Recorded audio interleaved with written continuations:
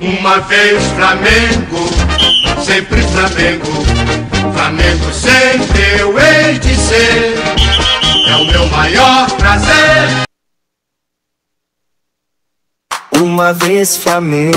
Clareou uma avenida na defesa do Galo. Ele rolou pra Michael, tá na grande área, rolou pra Gabriel. Bateu pro gol, espalmou, largou gol.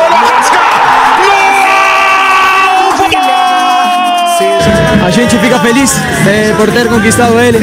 Foram o último mês e pouco, foi um pouquinho difícil. Agora é só comemorar com a nossa torcida, nossa família, nossos amigos que eles merecem também. Cai com o Gabigol, invadiu, penetrou, cara a cara, bateu.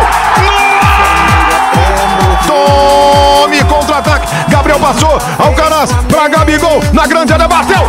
Novo! Monstro! Creio eu que esses dois gols, esses jogos finais, foi o fruto do trabalho que eu fiz. Então, muito feliz, mais um título, mais uma vez, uma marca histórica. Bruno Henrique pro Plata, chega firme na esquerda, limpa o zagueiro, pintou o gol do título. Plata, Plata por cobertura, golaço!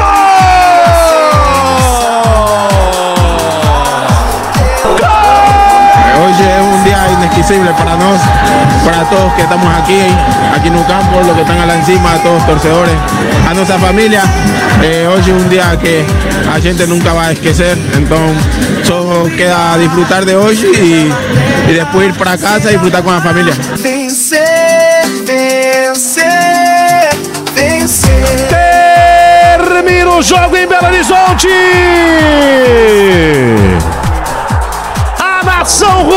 Pode comemorar! O povão rubro-negro pode festejar! O Flamengo é pentacampeão da Copa do Brasil! Tô muito feliz. Campeão com nove jogos, né? Isso quer dizer que alguém me deixou, como eu te falei, com essa possibilidade. Quatro jogos da Copa do Brasil para ser campeão. Que quatro jogos? Superando todos os obstáculos de um ano conturbado em 2024, dentro e fora de campo. Com suas referências, com seus grandes ídolos em campo, o Mengão é campeão de novo. Campeão da Copa do Brasil com méritos. O Flamengo festeja, o Brasil festeja com o Flamengo. Uma vez Flamengo, Flamengo até morrer. Flamengo, sempre Flamengo. Claro que a gente tem que começar esse jornal falando diretamente das ruas do Rio de Janeiro. Gabriela Marino, conta pra gente como é que tá a festa nessa manhã de segunda-feira no Rio. Gabriela, bom dia.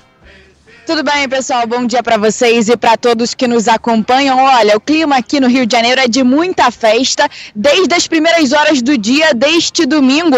É, é, ontem a gente falava que na Rocinha, por exemplo, na passarela da Rocinha, a torcida do Flamengo tinha estendido bandeirões na zona sul do Rio por volta já de 8 da manhã, porque já acreditava no título. O Flamengo tinha ganhado o duelo de ida no Maracanã por 3 a 1 e claro, depois que esse título se confirmou, depois do gol do Gonzalo Plata lá na Arena MRV, aos 37 minutos é, do segundo tempo. A torcida do Flamengo foi à loucura, muita festa aqui no Rio de Janeiro, todo mundo comemorando muito esse quinto título de Copa do Brasil. Torcida não se acostumou, não, viu, pessoal? E quer mais, quer mais títulos. Agora há pouco a gente está se deslocando aqui para chegar na sede social do Clube na Gávea, na zona sul do Rio. Agora há pouco passou uma moto pela gente e aí o garupa da moto, ele era, tava no motorista ali por aplicativo, o garupa da moto estava com a faixa de Flamengo campeão da Copa do Brasil. A gente perguntou, e aí, tá voltando de alguma festa? Eu tô indo trabalhar e com a faixa de Flamengo campeão da Copa do Brasil. Então, um clima aqui no Rio de Janeiro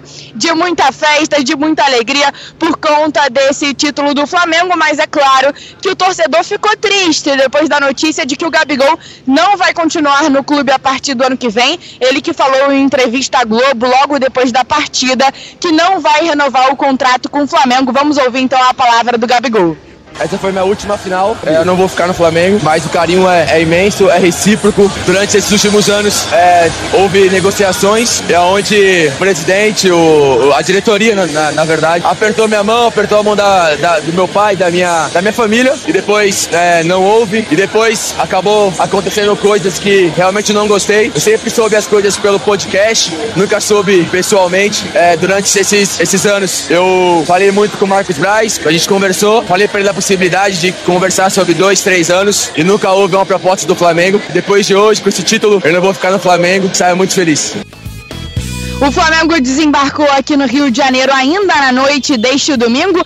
Torcida foi até o aeroporto, fez bastante festa, mas o Marcos Braz, o vice-presidente de futebol do clube, foi bastante hostilizado por alguns torcedores que estavam presentes ali no aeroporto, justamente por conta dessa saída do Gabigol. Claro, ninguém quer deixar que o ídolo do Flamengo saia do clube. O Marcos Braz falou que depois do Zico, qualquer um pode sair do Flamengo. Vamos ouvir o Marcos Braz mas eu vejo com maior tranquilidade do mundo, ele fecha um ciclo aqui. Estou muito à vontade para falar para o Gabriel, que eu já falei isso reiteradamente, até porque ninguém o queria aqui. Eu fiz de tudo para trazer ele na época, ajudei durante um período e assim sou super grato a ele. Eu acho que o Flamengo tem que ser grato a ele, um jogador tão importante nas conquistas, com gols nas finais. E isso acontece, até porque depois que o Zico saiu, qualquer um pode sair também.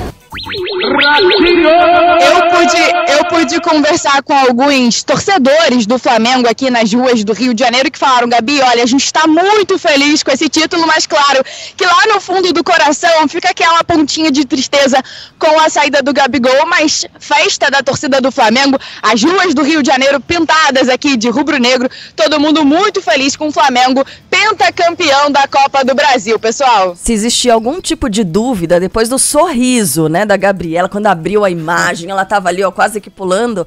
Agora já tá desfeita a dúvida para que time ela torce, se ela tá comemorando nessa manhã, se ela já emendou a madrugada, né, desde ela o fim da tarde. mega então... profissional também, gente, uhum. não?